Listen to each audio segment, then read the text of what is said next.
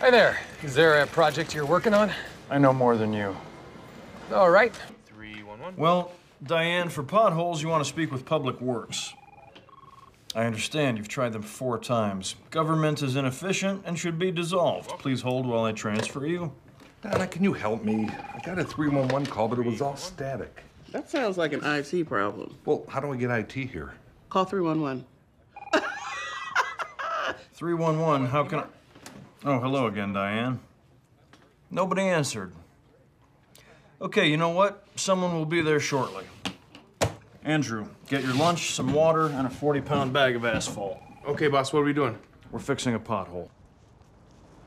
Hi, I'm Andy. I really like your dress. I'm a princess. I'm a mermaid. I'm the director of Parks and Recreation. I'm here to fix that hole. This is our kingdom. You have to ask permission. Excuse me? You, your highnesses, we do humbly request thine permission to befix doth holes yonder. Only if you can tag us. Come here. Ah! Your tax dollars at work. Hey, Ron. Good to see you. Weren't you a pirate last year? Yes, this is my Halloween costume. Andrew, are you aware that your bathroom faucet is leaking? Are you kidding me? I just stuffed a sock in it yesterday. What else do they want me to do? There's an exposed wire above the bathtub as well. Oh, yeah, shock wire. I call it that because if you take a shower and you touch the wire, you die. Yes, that is accurate. Do you have a toolbox? Yeah. No home is complete without a proper toolbox. Here's April and Andy's. A hammer, half of a pretzel, baseball card, some cartridge that says Sonic and Hedgehog, a scissor half, and a flashlight filled with jelly beans.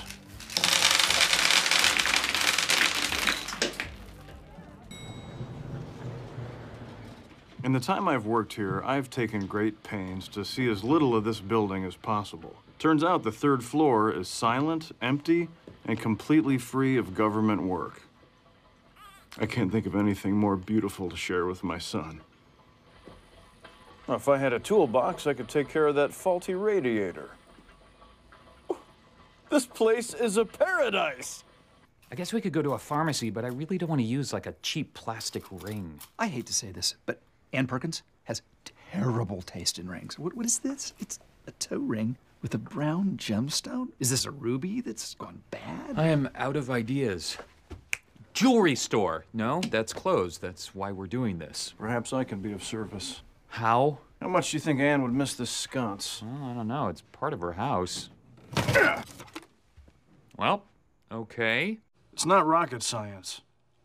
I removed the sconce, fired up my grandfather's torch, heated up the pieces in a cast iron bucket, liquefied the metal, poured into a mold, obviously keep it over a low flame to achieve a nice temper, cooled it in antifreeze, and just forged and shaped the rings. Any moron with a crucible and acetylene torch and a cast iron waffle maker could have done the same. Whole thing only took me about 20 minutes. People who buy things are suckers. When April and Andy married, I didn't get them a wedding present. In my experience, wedding presents are nothing more than kindling on the divorce bonfire. But I think I found a way I can really help them make a home. You, beanbag, come with me. I'm an eggplant. I don't care. Come with me. Why? I need small hands. I'm scared.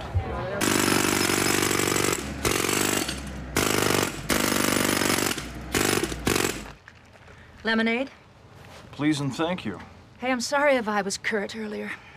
I'm a single mom, and sometimes things get chaotic around here. And when you shut up from the Parks Department... No need to apologize. I understand completely. This is delicious. Well, I got it from Food and Stuff, so... That's where I got these gloves. Right?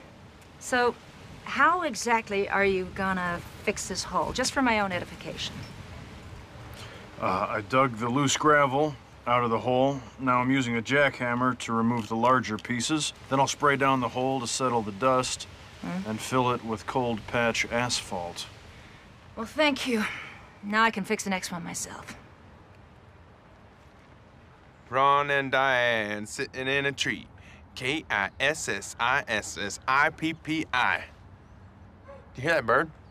There, I think I got it. Yep, you got it. Can you at least tell me what you're doing? I'm a homeowner. I would like to actually learn something. Yeah. I'm tightening the valve stem into the valve shank. I'm replacing the handle and then tightening the set screw, which will hold it in place. Now, Oh my god, we made it work! it's a good feeling. Sense of accomplishment and pride.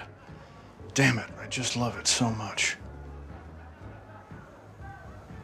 Are you okay? Great. I'm gonna go around this house and fix everything I can find that needs fixing. You wanna help? I really do. Good. That's next.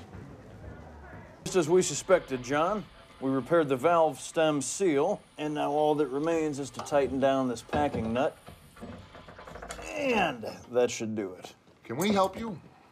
No, we have everything under control. My crew's redoing this whole floor. We're the only people allowed up here right now. Well, proceed with your work. You won't notice us at all. Well, we're gonna be kind of loud.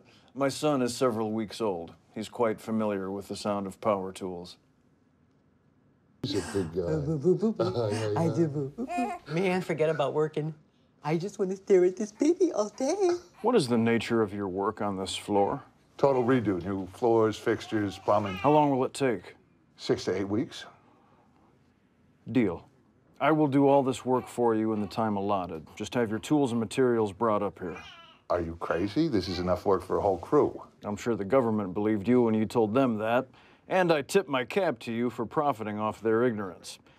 But I'm offering you two months paid vacation and the ability to take credit for my work, which will be flawless. Okay. Guys, let's go. I got all the help I'll need right here.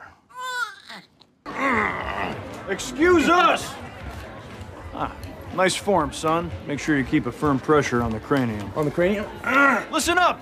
I have to turn off the power for one minute. We're gonna go dark, people. Bear with us, okay? We gotta switch off the main fuse hose. It's just a fuse. It's just a fuse, people. Just a fuse. I'd say you got the handle on that torque wrench. Yeah, well, the flange was a little warped, so I just goosed it with the triple three bolts Mac. That was nonsense. I know, but it's so fun to talk like that. You know what? Keep this. You earned it. Thanks, Ron.